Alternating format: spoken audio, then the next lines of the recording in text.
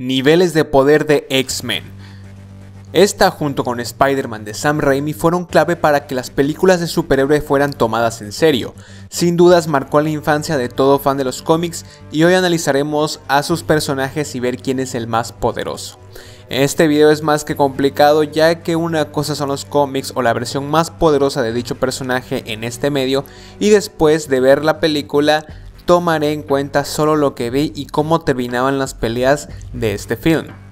Además que les recuerdo que ser más fuerte o poderoso no lo es todo, ya sea con una explicación lógica o con los típicos guionazos. Si tienes una opinión diferente, estás más que invitado a ponerlo en la sección de comentarios. Comencemos.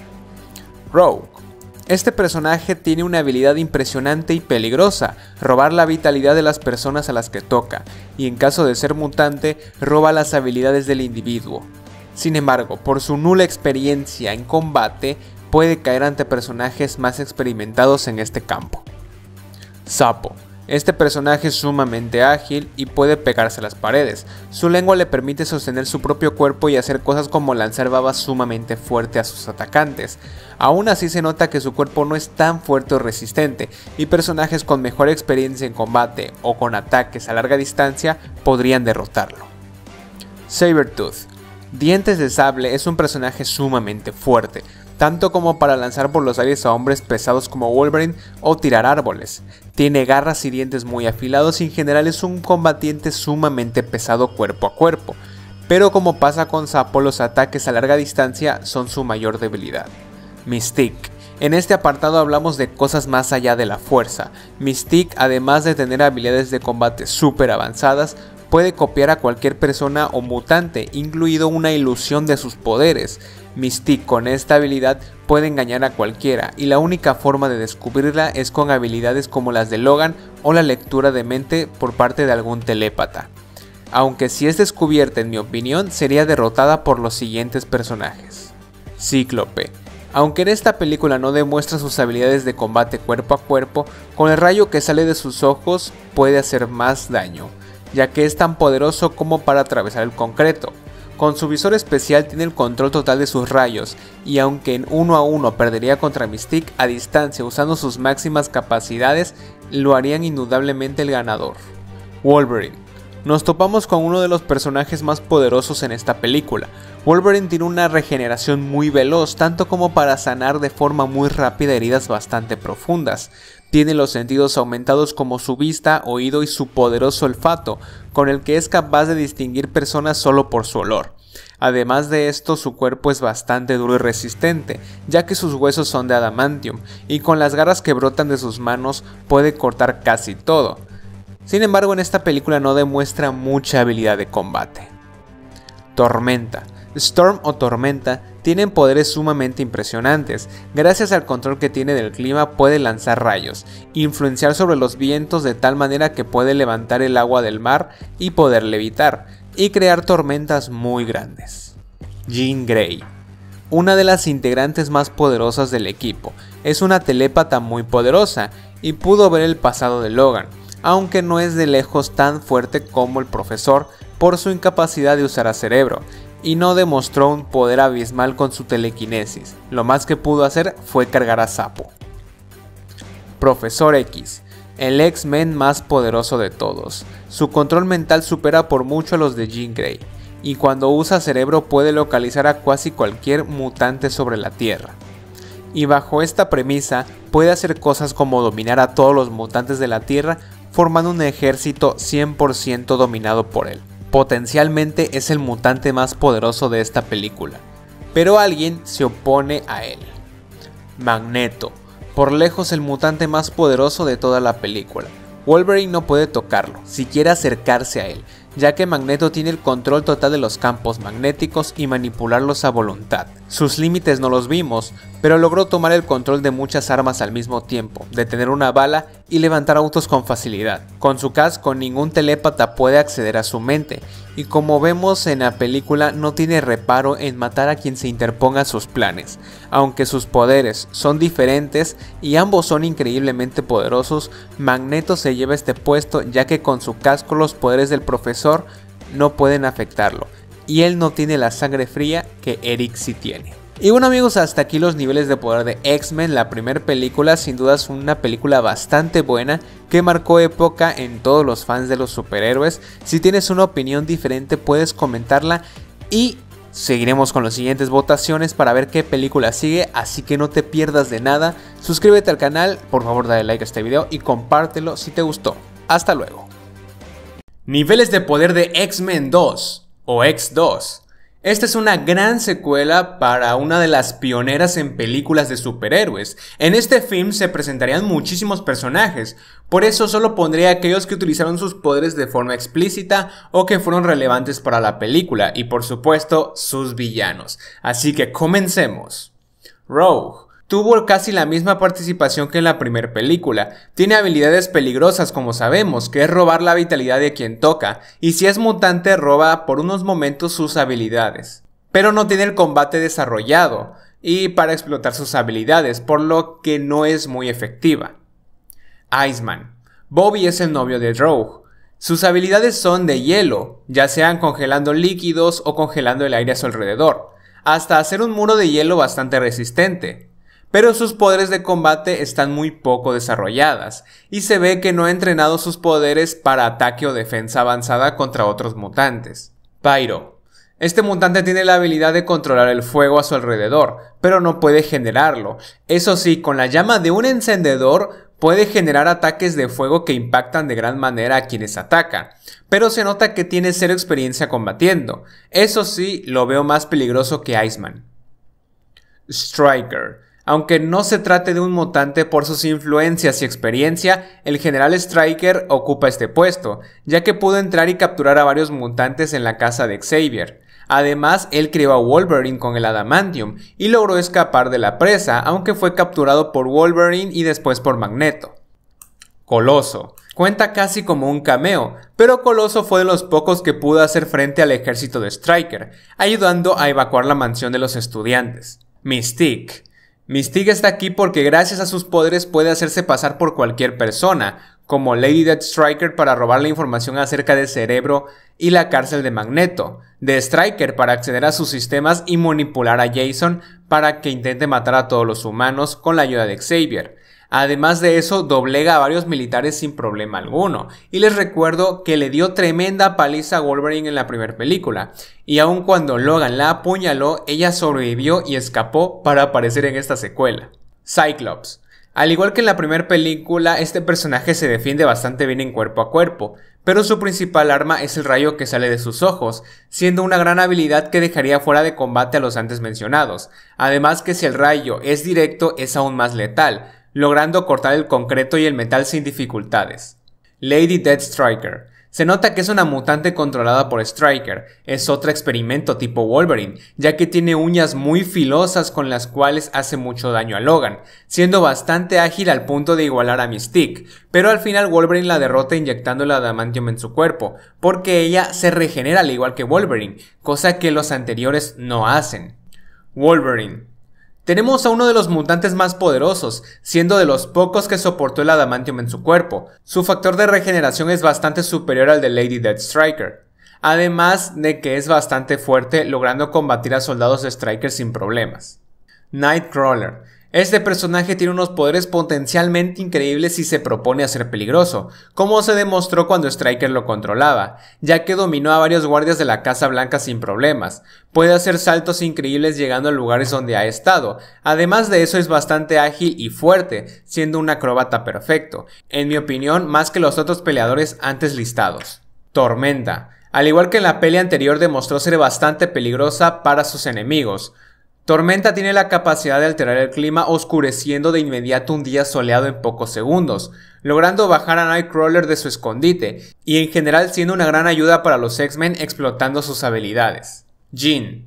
Desde el principio notamos que los poderes de Jean están fuera de control, su nivel de telepatía es bastante más arriba que en la primera película, logrando sentir cuando los mutantes están siendo lastimados y controlados por el profesor, y controlando al profesor cuando se encontraba débil. Además sus habilidades telequinéticas han aumentado, logrando detener un rayo de cíclope, desviando un misil y el agua de la presa elevando el jet, e impidiendo que Nightcrawler usara sus poderes para ir por ella. Profesor X. Charles Xavier sigue siendo superior a Jean en cuanto a sus habilidades telepáticas, pudiendo controlar la mente de todo un museo, aunque como en la película anterior sería fuertemente lastimado, esta vez por Striker e inhibiendo sus poderes para que el siguiente en la lista pudiera manipularlo para que mate a los mutantes con la ayuda de cerebro.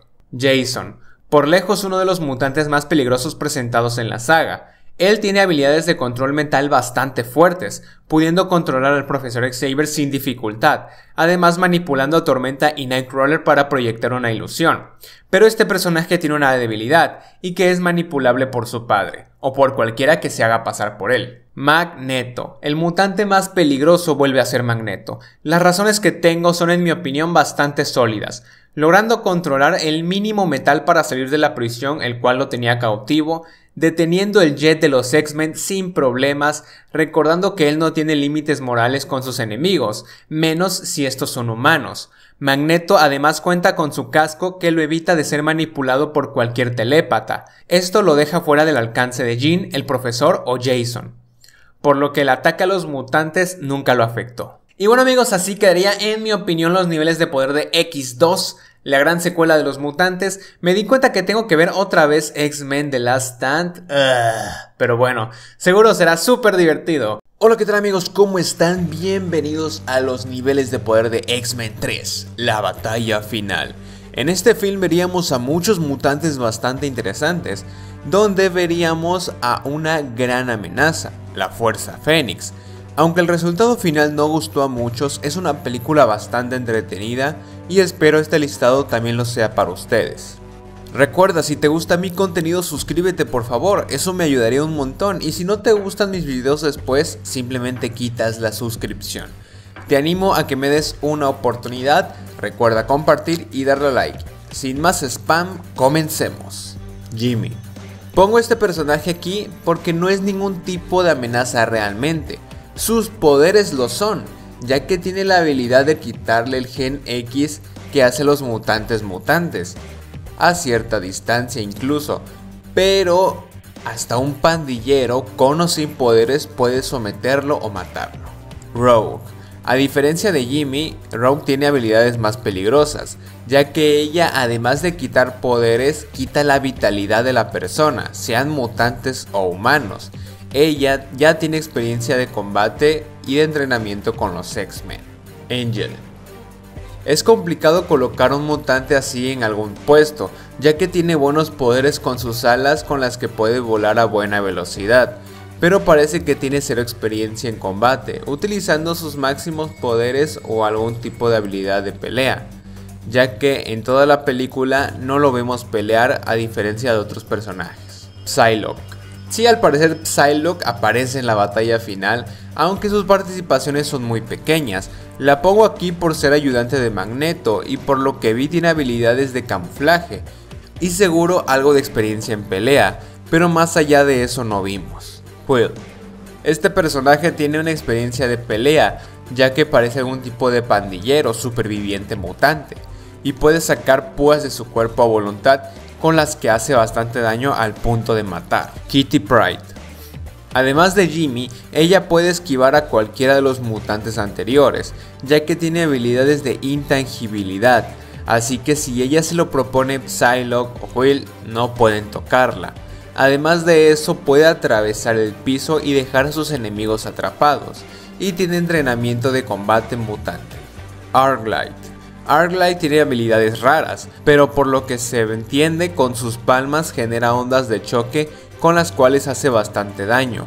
En este caso lo vimos usar sus poderes con los soldados destruyendo sus armas de plástico. Calisto. Esta es la nueva ayudante de Magneto. Este personaje puede moverse a gran velocidad entre dos puntos. No parece tener super velocidad, sino que es algún tipo de viaje rápido entre dos puntos como vimos a lo largo del film. Además de eso tiene muy buenas habilidades de pelea, tanto como para derrotar a Storm en al menos una ocasión.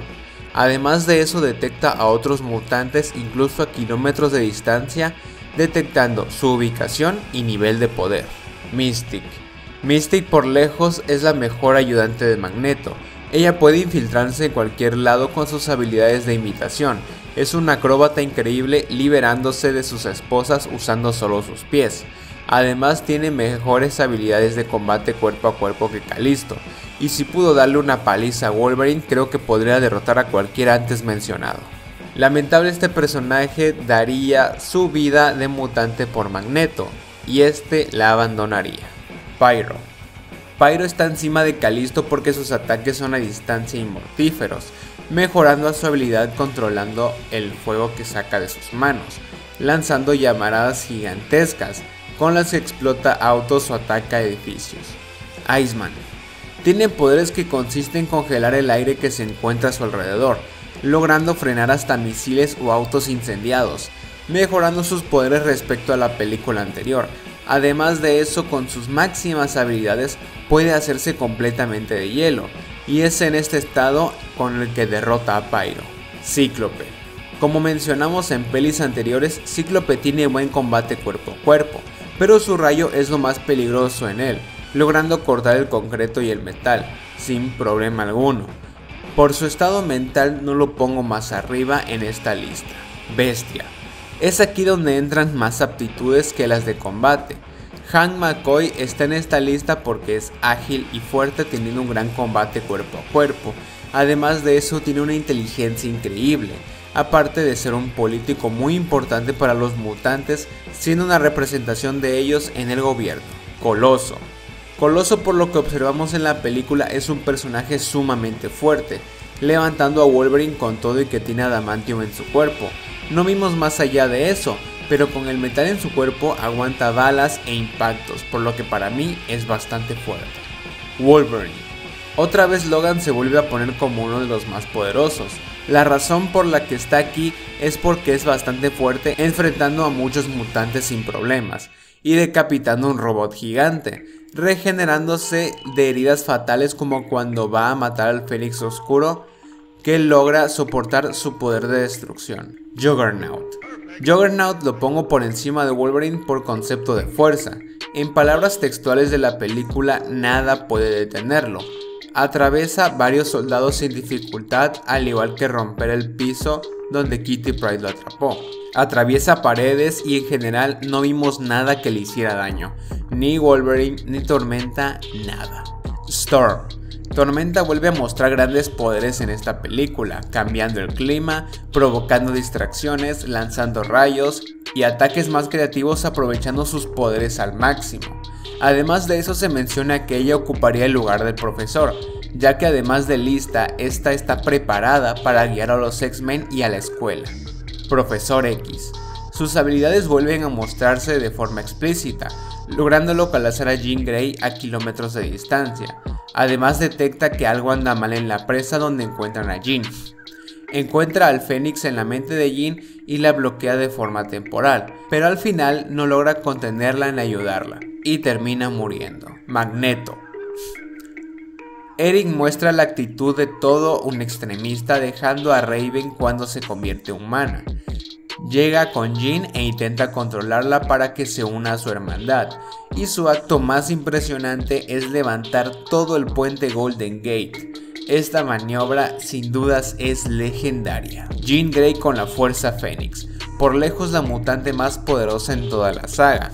Aunque en la película no se explica tan bien como en los cómics, aquí se entiende que el Fénix es otra personalidad dentro de Jean, y en este caso sus poderes telequinéticos se elevan de forma gigantesca, levantando toda una casa sin esfuerzo alguno.